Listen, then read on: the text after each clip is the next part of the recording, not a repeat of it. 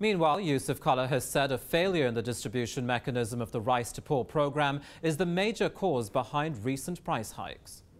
Kalla says 500,000 tons were supposed to be distributed over the past three months, but only 140,000 made it to the market, driving up prices for people that rely on the government program for the staple.